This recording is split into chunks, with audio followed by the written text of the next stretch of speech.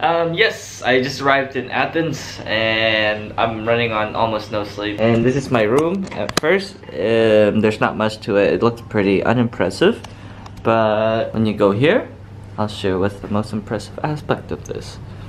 Boom, Acropolis right there. They have a um, a 24 hour bar and the rooftop terrace, there's a rooftop terrace looking out to the Acropolis and it's also open 24 hours. So looking forward to that.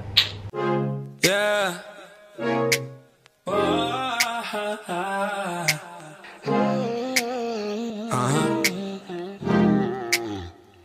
She say that she a wanderlust, but she ain't seen the world so much to do at 21. You feel invincible, so hard to find someone to trust. She still a daddy's girl, she wanna be an actress and a singer like Selena. And she a movie buff, but she ain't seen breakfast at Tiffany's, a breakfast club. That's just before her time, so hard to keep a conversation. When your mind's on vacation, you got pretty green eyes. I am here at the Acropolis, and um, one thing to watch out for is these like kind of red rocks. They're fucking slippery.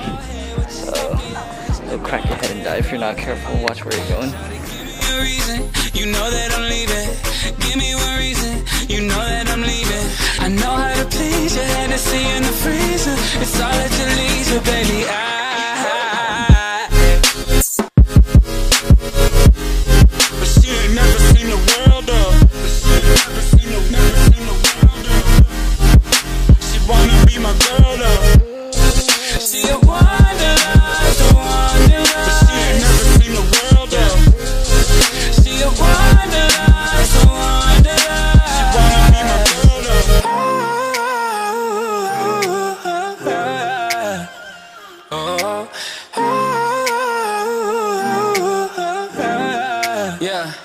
say that she a wanderlust. That's what her bio say. She shake it for the Instagram and a Twitter page on YouTube. She's a makeup artist. Hollywood apartment. She's a bartender and a part-time model. All her friends are verified. Wow, man, that's so cool. Wow, girl, can we hang out? Beef with red sauce. Okay. Cabbage rolls.